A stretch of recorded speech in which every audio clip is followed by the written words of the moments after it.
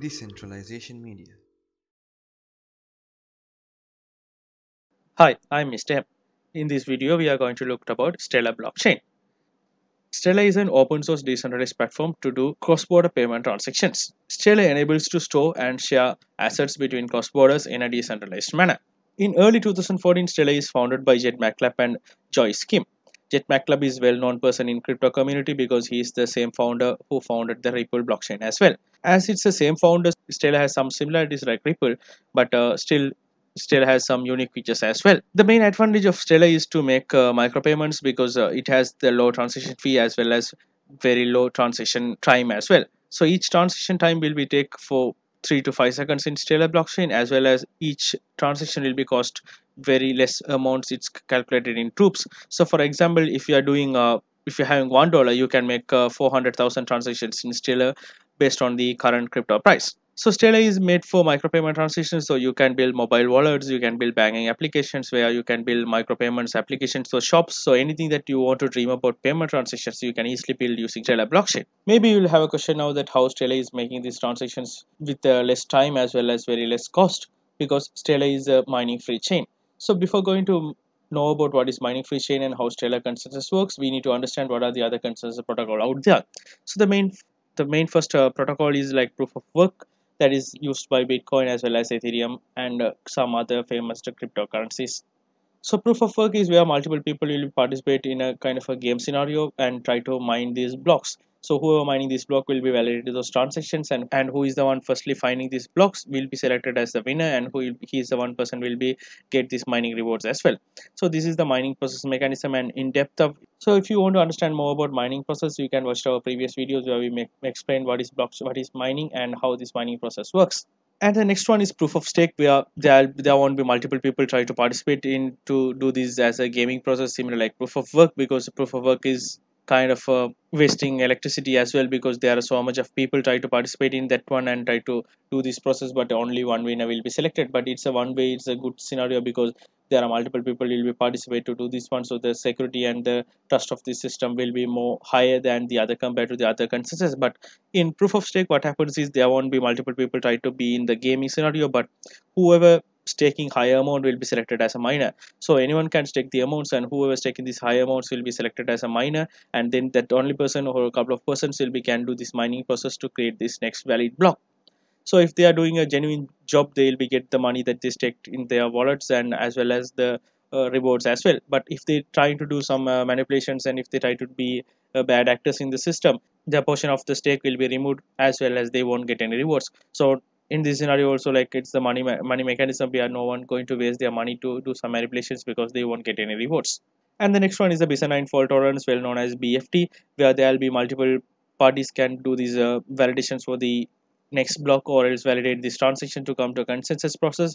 But in this scenario all the uh, validators will be validated and approved by one of the central party. And central party will be given approval to who are the ones can do these validations and it will be more comes as a kind of a centralized scenario where there there'll be no decentralized process similar like proof of work or proof of stake. And these systems are BFT algorithms is mostly used in the private blockchains. And the next one that is Stellar using is their own protocol Stellar consensus protocol or a federated Byzantine agreement. So where there will be there won't be any central party to apply appoint uh, who are the ones can do this mining process but anyone can do this mining process. And all of these nodes will be form their quorum slices. So each node will be part of a quorum slice as well as they will be part of the other quorums as well. One quorum will contain multiple nodes as well as each of these nodes will be part of the other quorums. So each each nodes will be make their validations and they'll be do these uh, validate these each transactions and they'll be communicate within their quorum slice and then they'll be agreed on one thing whether to approve this transaction or reject these transactions and that message will be passed to the next quorum as well. So this is how they maintain this consensus mechanism and they come to an agreement as a network scenario which which transaction to be approved and which transaction to be rejected. If you look into the stellar architecture there will be two things. One is stellar core and stellar horizon. So stellar core is the one doing all the hard work and all the process and validation these transactions will be happening in the Stellar Core and Stellar Horizon is more like a API layer where that will be transfer these transactions into the Stellar Core and retrieve the transaction related information from Stellar Core. So each full node will be contained the Stellar Core and the Horizon and who are the nodes that are doing the validations will be only contained Stellar Core and who are the ones that are only building applications will be only connected this horizon to send these data. And the horizon will be connected to the stellar core and stellar cores will be connected to each other stellar core to form this network.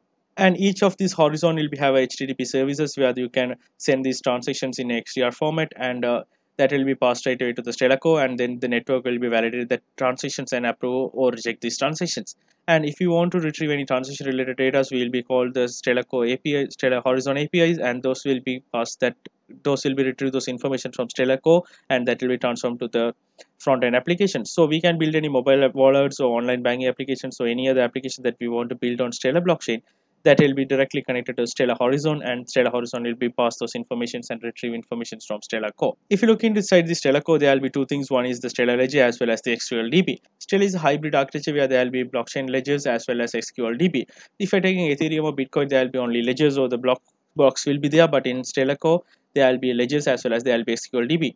In the SQLDB, there, there will be all the other details will be like a transaction fees and transaction related data and the transaction hashes will be stored. So this will be maintained that uh, fast update for the new nodes as well as if there's a node is out of sync so when they come to sync it will be easy to for them to update this transition related data compared to uh, comparing to the time that taking for the ledger updates.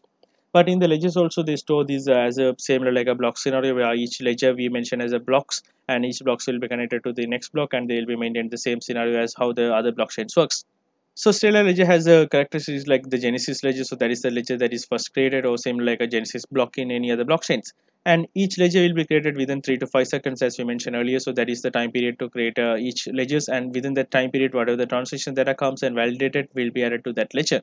So each ledger will be have their own ledger number and that ledger number will be connected backwards to the other ledger numbers as well and uh, still has a similar like other blockchains. There will be a previous hash from the previous block hash from the current block block. Same as the current ledger we will be have the previous uh, ledger uh, ledger number as the previous link as well. Inside the stellar ledger header we have the ledger header as well as uh, ledger entries inside each ledgers and the ledger header will be contained ledger hash previous hash transition hash and the bucket list hash. So inside the bucket list hash they have all, all the transition related data will be stored and they'll be create a bucket list and they will create a bucket and then they'll be put that buckets into a bucket list and then they'll be form these hashes. So these hashes will be this bucket list will be mainly used for when there's a node is if they're out of sync and when they sync again they don't need to get every data about the transaction. So they can just easily get this bucket list and they can find all the hashes and they can do the other validations uh, same as what they did previously. And the Stellar DEX is a decentralized exchange of Stellar. It's a similar like a decentralized exchange process in any other exchanges where Stellar has their own decentralized exchanges inside it that is inbuilt inside the chain. Where there's a order book that order book will have the buy orders and the sell orders and it will automatically match those buy orders with the sell orders. And it you can build any unique assets in Stellar because it's a very easy process. You can even use Stellar laboratory to build these assets. So we'll be do some future tutorials on how you can build these things in uh, in our future videos. But uh, for now you can just have an example that you can create any type of assets and you can use those things to do a decentralized exchanges or traders as well so similar like that even if you want you can create a meat asset and that you can trade with a fish asset. So even if you have oranges you want to trade with some people who has apples. So you can create your own coins and you can trade against the other people or you can even use that as a payment transactions as well.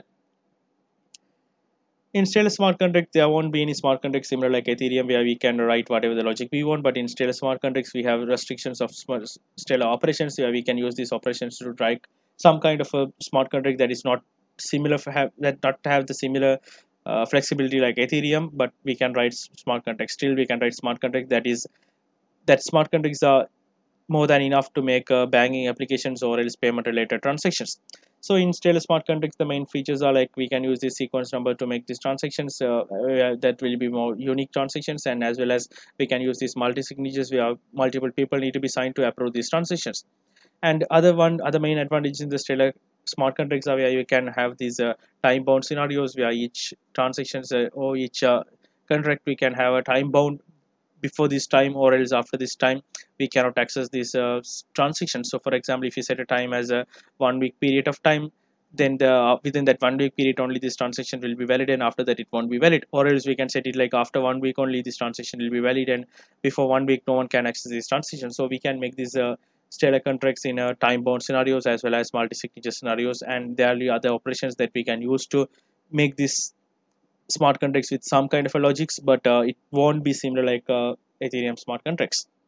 So these are the stellar transactions that we have and uh, all of these transactions we can use to build similar kind of a smart contract applications that uh, exist in the current banking or the financial world as well as any payment application that we want we can use these operations to build smart contracts. But uh, this is not as as i mentioned earlier this is not as the same flexibility like ethereum where we can write whatever the logic that we want but still we can manage this we can we can manage and we can create smart contracts using these operations. So overall as a conclusion Stellar is a platform that you can make uh, financial blockchain based applications or financial decentralized applications. So any micro payment application that you want you can build using stellar blockchain and that is mostly the perfect fit for any micro payments and cross border transactions applications. So thank you guys for watching this video and do subscribe our channel and click the uh, bell icon for future videos and make sure like if you have any questions please mention those questions in the comment section. Thank you. Decentralization Media